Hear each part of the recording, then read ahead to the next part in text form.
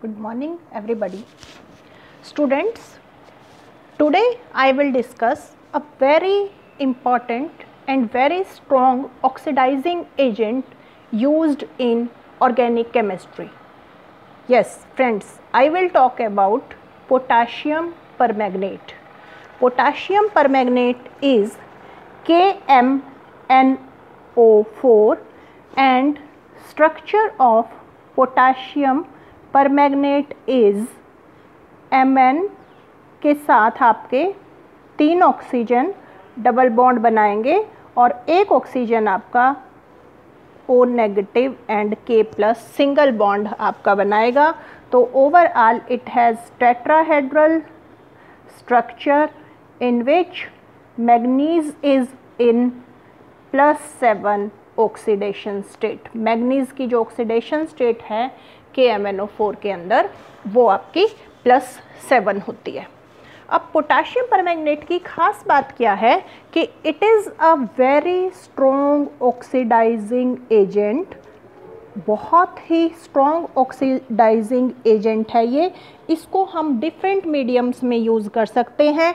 It can be used as acid uh, in uh, oxidizing agent in alkaline medium it can be used as oxidizing agent in acidic medium so we will discuss reactions of different organic compounds with KMNO4 one by one हम हर organic compound लेंगे alkane alkene alkyne आपका aromatic hydrocarbon alkanes सब का बारी बारी से हम डिस्कस करेंगे।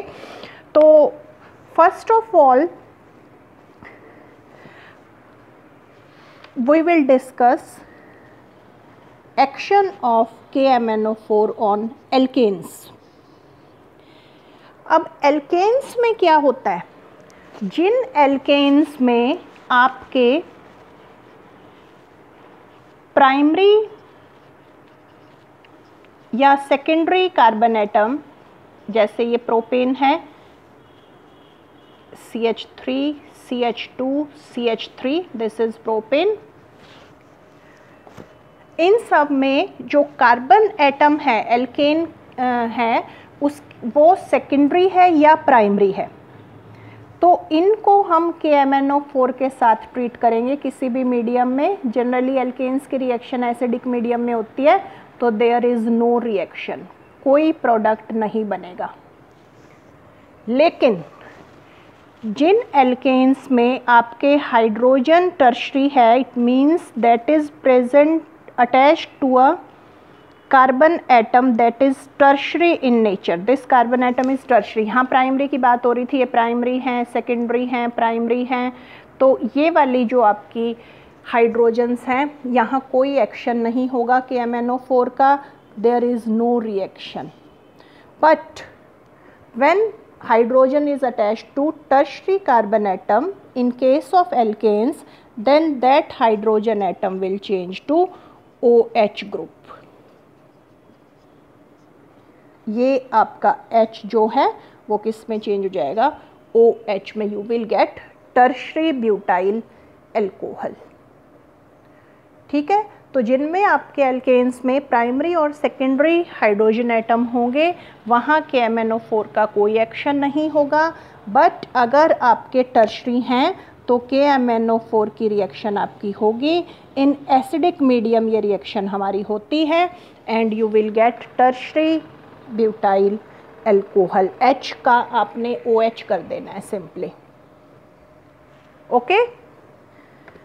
Then second we will discuss reaction of KMNO4 with alkenes.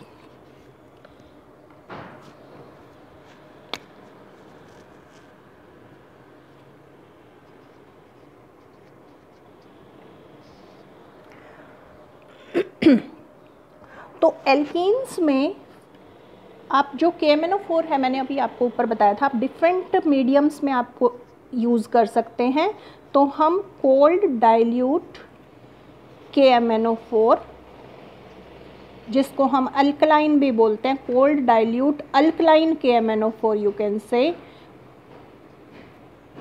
अगर हम लेते हैं this reagent is commonly known as Baeyer's reagent इसको हम बेयर्स रिएजेंट भी बोलते हैं। और बेयर्स रिएजेंट कहाँ यूज़ होता है? It is use to test unsaturation in a compound अगर कंपाउंड में अनसेचुरेशन प्रेजेंट है और आप उसके अंदर कोल्ड अल्कलाइन के एम यानी कि बेयर्स रिएजेंट डालते हैं तो क्या होता है? क्या टेस्ट है ये? Pink colour of K M N O four जो आपका है that get discharge K M N O four का कलर आपका डिस्चार्ज हो जाएगा. तो ये होता है cold dilute K M N O four Baeyer's reagent which is use to test unsaturation in a compound अब क्या होता है? एल्कीन्स है, जब हम एल्कीन्स को cold dilute alkaline K M N O four से ट्रीट करते हैं तो एल्कीन्स जो हैं that will change into vicinal diols vicinal diols आपके बन जाते हैं और सिन एडिशन होती है यहाँ पर। सिन एडिशन का क्या मतलब है? सिन एडिशन का मतलब है कि जो डायोल्स डायोल्स का मतलब दो ओ OH ग्रुप होंगे ना तो दोनों ओ OH ग्रुप जो है that will attack from the same side वो सेम साइड से अटैक करेंगे। ओके? तो सिंपलेस्ट केस हम लेते हैं, इथीन। इथीन में हमने cold dilute alkaline K M डालना है। तो ethene will change into ethylene glycol आपका क्या बन जाएगा? ग्लाइकोल सिन एडिशन होती है, यहाँ सिन एडिशन आप ध्यान से नहीं, आप, क्योंकि सिमेट्रिकल है ये, आप ये देखिए। इफ़ यू टेक साइक्लोपेंटीन और साइक्लोपेंटीन में आप वही cold dilute alkaline K M N O four डालते हैं तो cyclopentene will change into cyclopentane diol और वो डायोल आपका क्या होगा नेचर में? That will be your cis diol तो सिस डायोल्स बनेंगे हमेशा जब भी आप cold dilute alkaline K M डालते हैं तो आपकी कौन सी एडिशन होती है? सिन एडिशन होती है।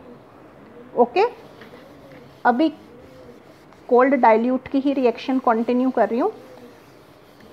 अब सिस डायोल आपके बनते हैं in case of cold dilute alkaline K M N O four अब एल्कीन अगर आपकी सिस है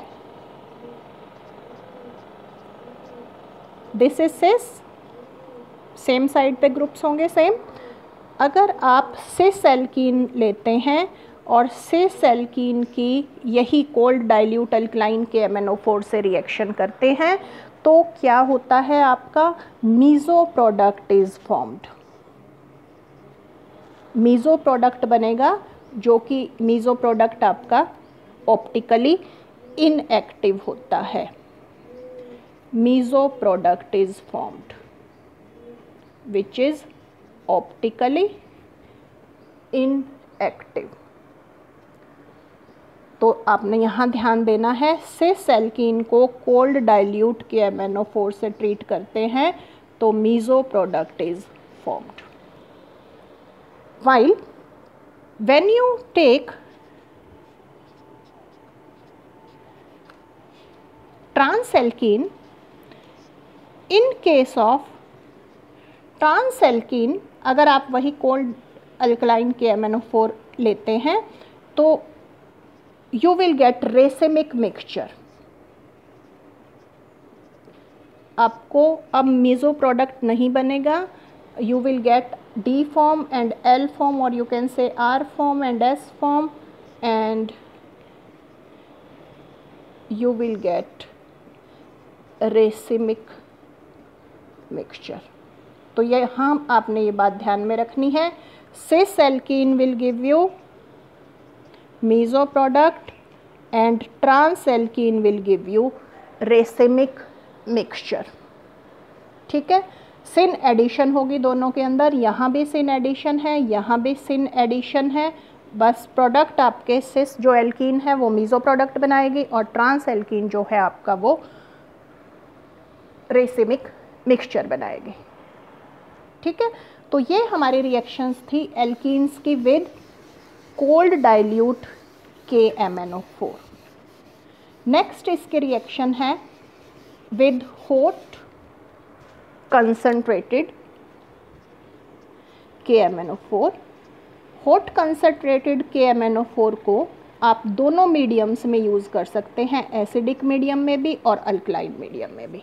और यहाँ आपने ये बात ध्यान रखनी है, ये जो hot alkaline K M N O four है that is very strong oxidizing agent then when you use KMNO4 in cold dilute alkaline medium.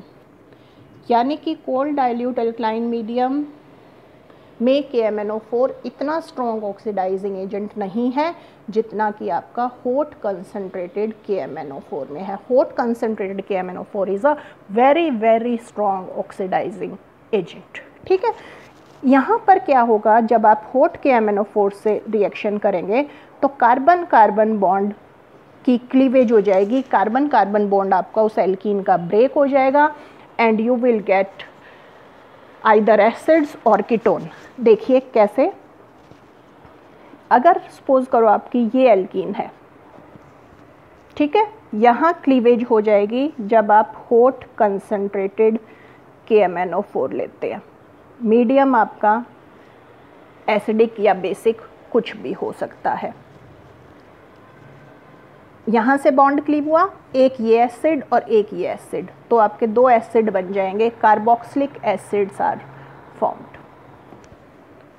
ठीक है? एंड इन केस अगर कार्बन पर आपके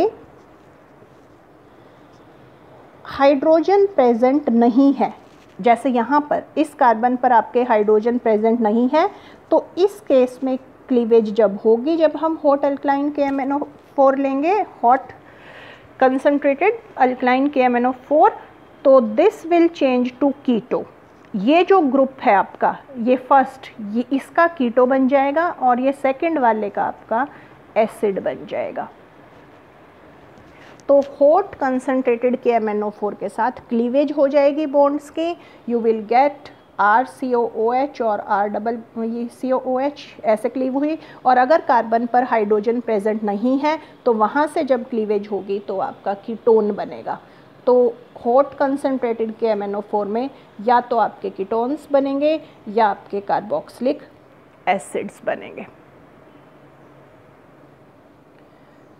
तो ये थी हमारी एल्कीन्स की reaction with cold and hot concentrated K M N O four cold में आपने देखा हमारे डायोल्स बने थे और होट में हमारे जो हैं कार्बोनिल कंपाउंड्स बनेंगे, चाहे आपका कीटोन बनेगा और चाहे आपका एसिड बनेगा। क्लियर है ये चीज़? नेक्स्ट है reaction of KMNO4 with alkynes alkynes के केस में क्या होगा थर्ड अब एल्काइंस के केस में अगर आप cold dilute alkaline K M N O four लेते हैं यानी वही बेयर्स रिएजेंट आपने डाला तो क्या होगा एसिड्स बन जाएँगे COOH, COOH. Your oxalic acid is formed.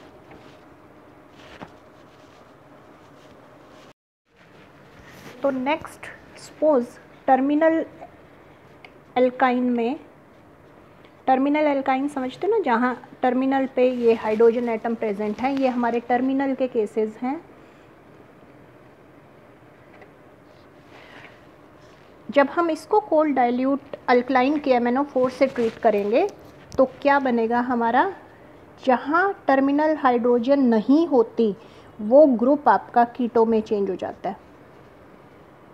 तो you will get C H three C double bond O यहाँ टर्मिनल है एसिड में चेंज हो जाएगा and you will get pyruvic acid ठीक है? अब हम नॉन टर्मिनल का एक एग्ज़ाम्पल लेते हैं, जिसमें से दोनों नॉन टर्मिनल हैं। सपोज़ आपने लिया R C triple bond C R dash अब आप उसको cold dilute alkaline K M से ट्रीट करते हैं तो क्या होगा? दोनों आपके सी डबल बॉन्डो में चेंज हो जाएँगे ये वाले कार्बन और आपका बनेगा डाई कीटोन तो in general you have to remember अगर आपके टर्मिनल हाइड्रोजन प्रेजेंट है एल्काइन में टर्मिनल है एल्काइन तो आपके कार्बोक्सिलिक एसिड्स बनेंगे और अगर आपका नॉन टर्मिनल है एल्काइन नॉन टर्मिनल है हाइड्रोजन प्रेजेंट नहीं है एंड्स पे तो that will change to diketones तो ये चीज़ आपने ध्यान रखनी है, बहुत इंपॉर्टेंट है, जहाँ स्टूडेंट्स मिस्टेक करते हैं। Terminal carboxylic acid non terminal diketones then suppose आपका एल्काइंस की अब रिएक्शन आप कर रहे हैं होट कंसनट्रेटेड के एम के साथ। Hot concentrated K M N O four अब आपको पता है। मैंने ऊपर बताया एल्किन्स में। ये बहुत ही स्ट्रॉन्ग ऑक्सीडाइजिंग एजेंट होता है। यहाँ पर आपका कार्बन कार्बन बॉन्ड क्लीव होगा। मीडियम आपका कोई भी हो सकता है। प्रेफर हम दोनों मीडियम करते हैं इस केस में। तो जैसे सपोज़ करो आपकी ये थी एल्किन एल्काइन सॉरी क्लीव हुआ। You will get R C O O H plus R dash C O O H. दोनों के केस में चाहे टर्मिनल है, चाहे नॉन टर्मिनल है, क्लीवेज हो जाएगी and you will get C H three C O O H and H C O H और फॉर्मिक एसिड आपका जहाँ भी बनेगा, उसकी फर्दर ऑक्सीडेशन हो जाएगी and you will get carbon dioxide and water यहाँ से क्लीव हुआ ना तो एक दो कार्बन एटम वाला एसिड बनेगा आपका, एक कार्बन वाला। अब फॉर्मिक एसिड जो है उसकी ऑक्सीडेशन हो जाएगी। बहुत ही स्ट्रॉन्ग ऑक्सीडाइजिंग एजेंट है आपका होट के एम तो आपका क्या बन जाएगा? Carbon dioxide and water and acetic acid in this case okay तो ये थी हमारी reactions of alkynes with potassium permanganate. Now we will take the case of aromatic hydrocarbon. Aromatic hydrocarbon में आपके बारी बारी से हम सारे केस लेंगे। सेचुरेटेड है। अनसेचूरेटेड आपका हो सकता है। ग्रुप फिनाइल रिंग के ऊपर। तो फोर्थ केस है हमारा एरोमेटिक हाइड्रोकार्बन्स तो एरोमेटिक हाइड्रोकार्बन में सबसे पहले हम सेचुरेटेड की बात करते हैं, जो हमारे एरीन्स हैं। सेचुरेटेड एरोमेटिक हाइड्रोकार्बन जैसे कि सपोज़ करो हमारा टॉलविन है इथाइल बेंजीन हमने लिया, हमने आइसोप्रोपाइल बेंजीन ले लिया। This isopropyl benzene is commonly known as cumene ठीक है? This is toluene ethyl benzene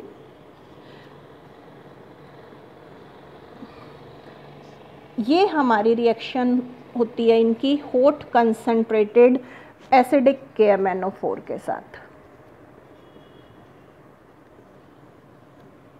Hot concentrated acidic K M N O four के साथ this will change into benzoic acid तो अब आपने यहाँ ये बात ध्यान में रखनी है, चाहे आपका जो फिनाइल ग्रुप के ऊपर सब्सटीट्यूएंट प्रेजेंट है, चाहे उसमें एक कार्बन एटम है, दो कार्बन एटम है, तीन कार्बन एटम है irrespective of the number of carbon atom that will always convert into H वो आपका हमेशा एच में ही चेंज होगा। बस यहाँ आपकी कंडीशन क्या होती है कि ये जो बेंजाइलिक कार्बन है, उस पर हाइड्रोजन प्रेजेंट होनी चाहिए। तो benzylic hydrogen must in reactions में बेंजाइलिक हाइड्रोजन हर हाल में प्रेजेंट होनी चाहिए in case of this saturated aromatic hydrocarbon ठीक है? देन सपोज़ करो आपका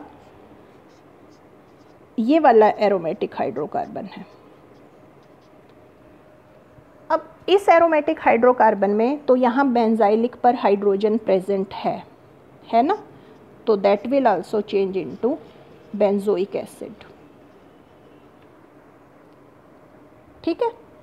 अगर अब आपका ये, मैंने लिया था स्टाइरीन अगर ये आपका यहाँ पर ये लगा होता सी एच थ्री यहाँ पर ये है तो भी आपका बेंजोइक एसिड ही बनेगा। ठीक है, यहाँ हाइड्रोजन प्रेजेंट है। अब सपोज़ करो आपका है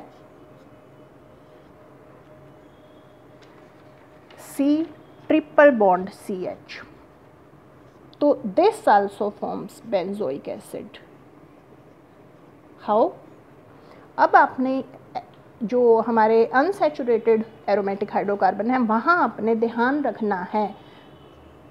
अगर कार्बन की sp या sp2 हाइब्रिडाइजेशन है। ठीक है?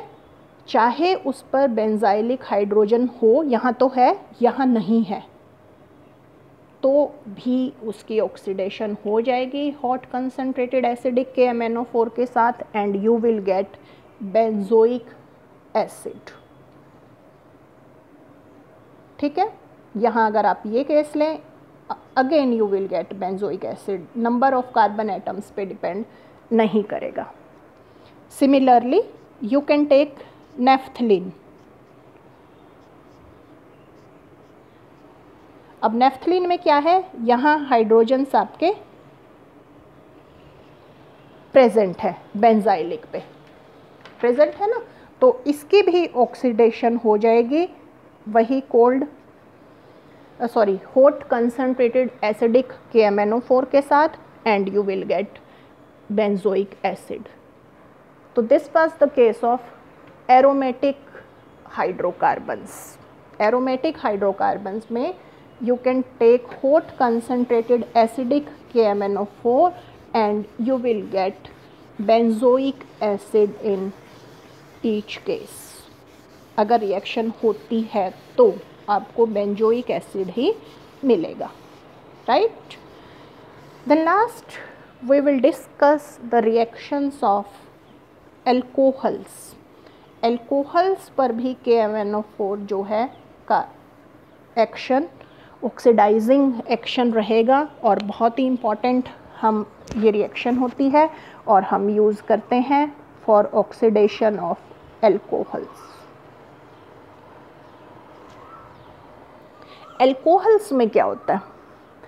प्राइमरी अगर आपकी एल्कोहल है, उसको आपने K M N O four से ट्रीट किया एसिडिक ही लेते हैं जनरली हम तो क्या होगा आपका?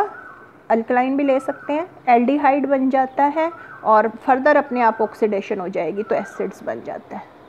तो in general primary alcohol will give you acids ठीक है? एग्ज़ाम्पल साथ के साथ लेते चलते हैं हम। सपोज़ करो आपका इथाइल एल्कोहल था तो पहले एसिटल्डिहाइड बनेगा but finally you will get acetic acid तो प्राइमरी एल्कोहल में आपको क्या मिलेगा? एसिड्स मिलेंगे। ठीक है?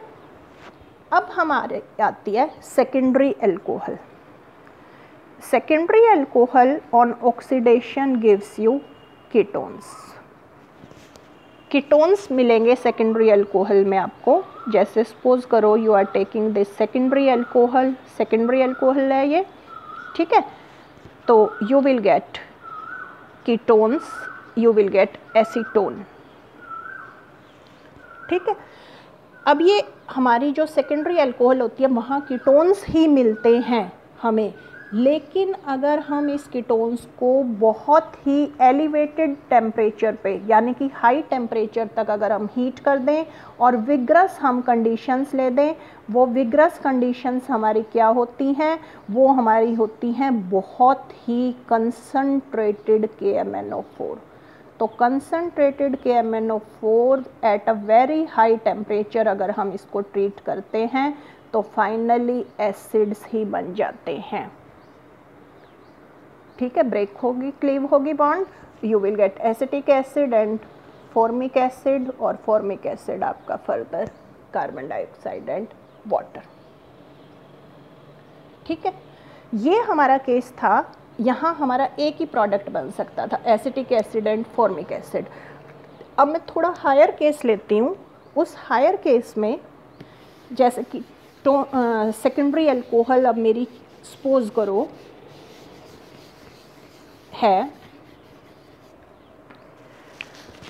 Suppose my secondary alcohol is this. Okay? इसको मैं ट्रीट कर रही हूँ के एम एन ओ फोर के साथ। सेकेंडरी है तो no doubt on oxidation gives you ketone you will get this ketone अब इस कीटोन को वही हम विग्रस कंडीशंस दे रहे हैं high temperature and concentrated K M N O four तो क्या होगा? यहाँ चांसेस हैं आपके, क्या चांसेस हैं? दो चांसेस हैं कि बॉन्ड यहाँ से क्लीव हो या यहाँ से क्लीव हो। ठीक है? यहाँ से अगर आपका क्लीव होता है तो एक कार्बन वाला एसिड फॉर्मिक एसिड और ब्यूटेनोइक एसिड बनेगा। लेकिन अगर आपका बॉन्ड यहाँ से क्लीव होता है, ये क्लीव हो रहा है तो इधर दो बचे हैं आपके तो दो कार्बन एटम वाला एसिड यानी कि एसिटिक एसिड और इधर आपके तीन कार्बन बचे हैं तो तीन कार्बन वाला एसिड यानी कि प्रोपेनोइक एसिड बनेगा। तो यही दोनों प्रोडक्ट बनते हैं। कैसे बनेंगे? This is determined by Popoff's rule Popoff's rule क्या कहता है कि जो कीटो ग्रुप है keto group that remains with जब भी क्लीवेज होगी that stage with you can say smaller alkyl group smaller R group के साथ रहेगा, ये आपका पोपोफ्स रूल है। तो पोपोफ्स रूल के अकॉर्डिंग यहाँ से आपकी क्लीवेज नहीं होगी, क्यों? क्योंकि अभी मैंने आपको बताया, ये जो कीटो ग्रुप है, वो छोटे अल्काइल ग्रुप के साथ रहेगा। तो वो मिथाइल के साथ रहेगा। यहाँ से आपकी क्लीवेज होगी। तो एक आपको दो कार्बन आइटम वाला एसिड और एक आपको तीन कार्बन आइटम वाला एसिड मिलेगा। तो this was all about oxidation of secondary alcohols then tertiary alcohols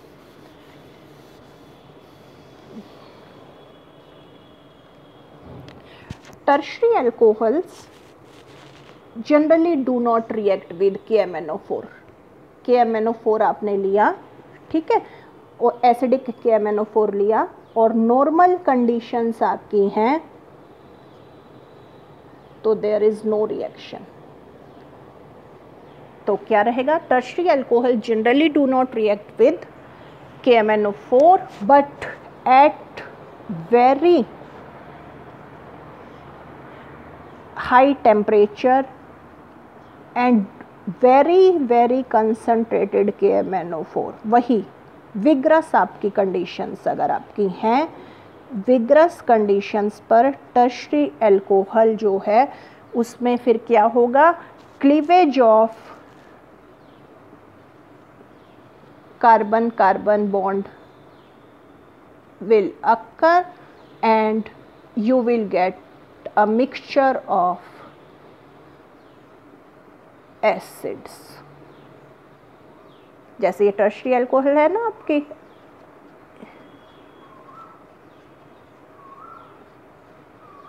ये टर्शरी अल्कोहल है, यहाँ से बॉन्ड क्लीव हुआ फॉर्मिक एसिड बन गया, तीन कार्बन वाला देन एसिटिक एसिड बन सकता है। तो in general cleavage of carbon carbon bond will occur and you will get mixture of acids तो नॉर्मल अगर हम सारी कंडीशंस की बात करते हैं तो प्राइमरी अल्कोहल्स आपको एसिड्स देते हैं सेकेंडरी अल्कोहल्स आपको कीटोन्स देते हैं, और टर्शरी अल्कोहल्स में कोई रिएक्शन नहीं होती। तो दोस्तों, मैंने बहुत ही आसान तरीके से आपको के फोर की सारी रिएक्शंस बताई कि किन किन ऑर्गेनिक कंपाउंड्स के साथ alkanes alkenes alkynes aromatic hydrocarbons alcohols aldehydes भी आपके इसमें हो ही गए एसिड्स में चेंज होते हैं, वो भी। तो वो आपके डिफरेंट अगर आप कंडीशंस लेते हैं कोल्ड लेते हैं हॉट लेते हैं मीडियम एसिडिक लेते हैं या बेसिक लेते हैं तो आपके के एम एन ओ फोर का उन सब रिएजेंट्स के ऊपर क्या एक्शन होता है? तो कॉम्पिटिटिव पॉइंट ऑफ़ व्यूज़ के हिसाब से आपका ये वीडियो लेक्चर बहुत बहुत इंपॉर्टेंट है। तो दोस्तों एक बार ज़रूर देखिएगा इस वीडियो को। Thank you.